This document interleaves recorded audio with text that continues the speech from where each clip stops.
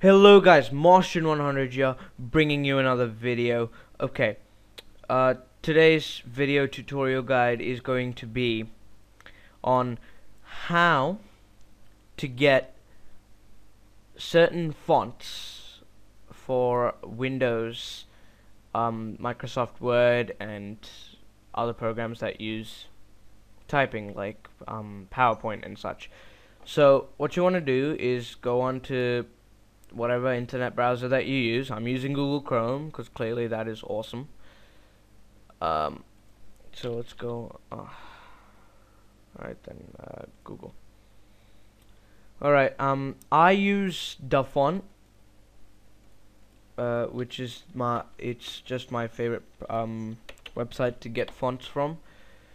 Uh, you can use this because um, most of the fonts there are free for personal use and a lot um and some of them are free for um, all uses so it's really great um, th there is a uh, guide there but for some people they don't actually know where that is so I'm going to search uh, let's just go sci-fi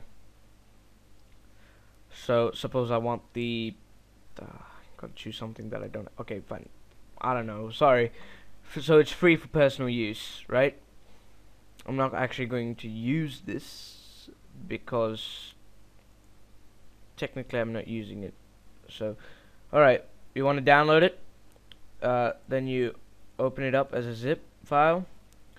You should be getting uh, a few of these whatever but all you really need is the .ttf file. Alright now you go to your computer. Local disk. So why did I do that? I don't know. Uh, Windows.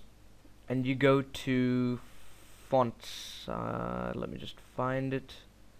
So much stuff here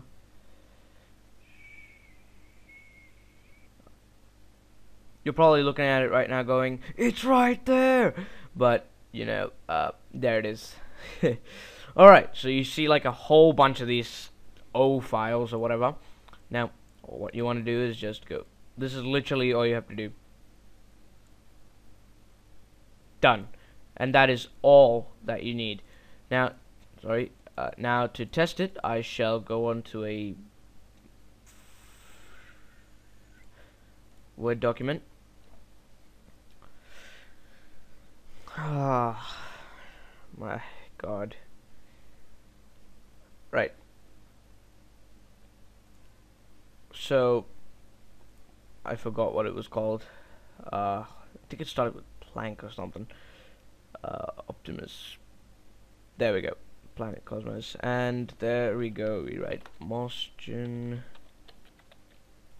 100.